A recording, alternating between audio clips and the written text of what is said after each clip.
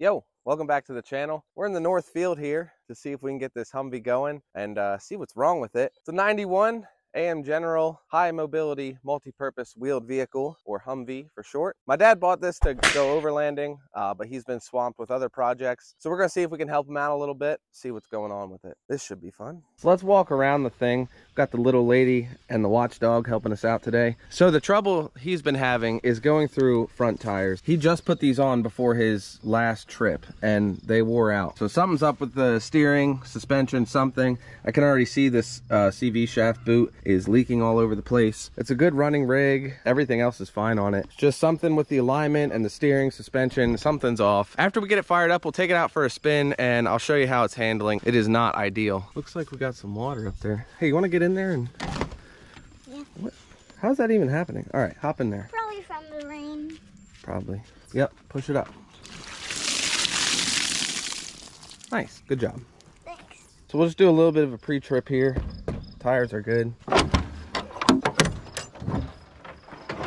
Here it is, the uh, 6.2 liter NA diesel. Uh, no turbo. This thing is gutless, um, but it runs. Let's check the oil. It's pretty dark, but uh, it's full. That'll work. All right, pre-trip complete. Let's start this thing up. Try to. Glow plug light is not coming on. Let's try it. All right. That battery sounds like it's weak already. That should be good.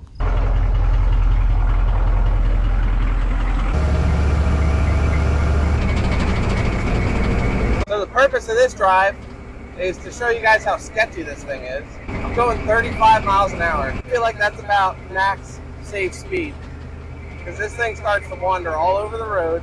The tires chirping constantly. I don't even know if you can hear me. No power, of course. Hey, look at the steering wheel. All right then. All right, we'll hit the dirt road up here. I think it's still dirt. I hope they didn't pave it.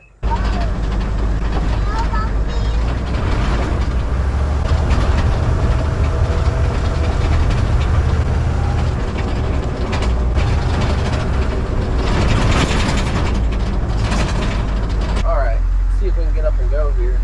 Hit it.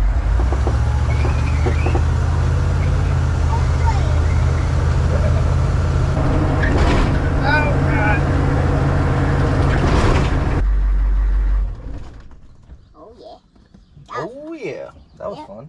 Yeah. We're back at the shop. We're gonna move these out of the way so we can bring the Humvee in and pull it apart, start working on it. We'll get the Vette out first and then we'll move the Jeep. Um, I got a rooftop tent.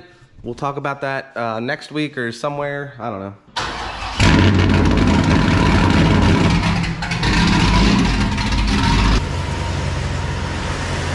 Are you gonna help me pull the Humvee in? Yeah. Okay. I wanna be against this line. Think you can handle that? Yep. All right.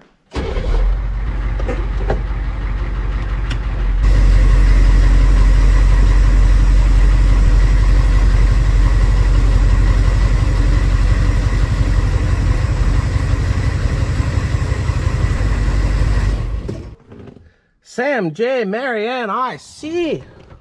Now, we're not going to necessarily fix anything today. We're just going to check out the front end, test a couple different things, try and make a list for dad of any potential things he needs to replace, check the alignment, stuff like that. First thing I'm going to do is put a ratchet strap around the steering wheel. That way, when we're moving stuff around up there, it's not just the steering wheel turning up front. So we're going to lock this thing down so it's definitely not moving. Now that the steering wheel is definitely not going to move, we'll jack up each side. Now that just one wheel is off the ground, we can wiggle it back and forth just to see if there's any play in anything. And it should be pretty solid, but it seems to be moving quite a bit. Do the same thing on the other side. All right, we got it up with the wheels off. Get on over here. Take a closer look. Here you got a good view of everything, the tie rod, the end links, the center link up here, and then right up here you can see the pitman arm. Keep an eye on these ball joints while I'm moving this back and forth. See, there's movement, but everything's moving. The center link's moving and the tie rod. It doesn't look like the play is in the ball joints. In fact, these actually look brand new. I think he might have done them. I don't remember. What I do see is the pitman arm up there moving. So the joint on there could be bad, or there could be some slop in the gearbox. Ball joints look okay. I don't think they're new. The boot's in good shape, top and bottom. There's no up and down play, at least on this side. Let's check out the other side. It's looking like the same story on this side. Ball joints look fine, but I can also get that side to side play here. This up here is just an idler arm mounted fast to the frame up here, and then there's a ball joint. So that could need replaced. These tie rod ends also, well, this one at least looks new. Next thing we're gonna do is check the toe alignment using these pieces of angle on the hub. Your toe is whether your wheels are pointed in or out or straight. So we'll see what it looks like. So we got two tape measures set up on each side. That way we can see where they're at. So on the front here, we got 77 three quarter and on the back, we're like 77 even. So it's towed out a little bit. So it's going down like this, wider in the front, more narrow in the back. It doesn't seem that bad but it could definitely uh, have something to do with it. There is really no point aligning it if it needs steering components like ball joints and stuff like that or a whole new gearbox. Both tires are wore the same way. They're worn on the inside.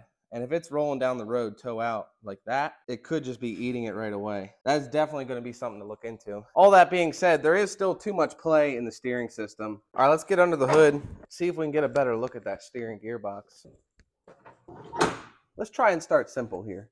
Power steering fluid. Fluid's not an issue. I did some poking around and I think I have some conclusions. As far as the gearbox and the Hydro Boost, I don't think there's any issues going on with the Hydro Boost. The power steering works fine. The power brakes work fine. There's no whining or anything. I think the pump and the Hydro Boost and the gearbox, everything hydraulic seems like it's in order. Definitely am leaning towards the mechanical side here. There's not that much dead space in the steering wheel. I mean, that's coming from a guy that had a second gen, but that doesn't seem terrible. But I don't think it's enough to cause the issues that he's having. If he does want to go ahead and replace the gearbox, I don't think it's going to be that bad for him. There's plenty of access underneath here. It's kind of tight up top, but I'm thinking a new joint here at the pitman arm to the center link. Same thing over here with the uh, the idler arm, and then the one that mounts up here to the frame, plus the inner tie rod end links, which I don't think he replaced. I think he just did the outers. So if he does everything previously discussed, plus an alignment, for one, I think it's going to be a lot cheaper just to replace a couple joints. And then if we're still having issues after the fact, maybe then look into the gearbox. Because like I was saying, there is a little bit of play. With front end steering and this kind of stuff,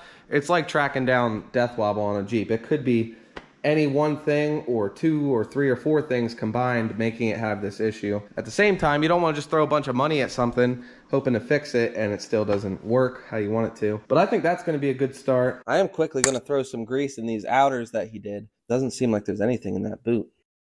Oh, great. Seeping out the top. And the boot's not even filling up. Well, in that case, maybe new joints all around. Get this thing put back together. Pull these off and get the wheels back on. Now, if we got any 91 Bravos or anyone that's had a Humvee or worked on one, if you have any insight to provide, that'd be greatly appreciated. You know, I'm really more used to working on solid axle stuff. Independent front is very foreign to me.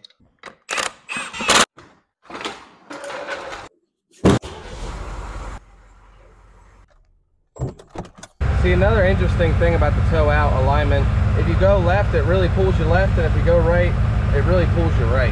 So I think that really has something to do with it. I think we can fit between those trees? I know the Jeep can. Guess we could try. Ah, I don't think it will. The old Northfield. Home sweet home. Got the Humvee back in its spot. I know this is kind of a shorter video, but I just wanted it to be kind of a teaser or more just test the waters on the Humvee, see if you guys like it. If you want to see more of this thing, we can absolutely make that happen. Let me know. But that's going to wrap it up for this one, guys. Hope you enjoyed it. Take it easy. See you in the next one.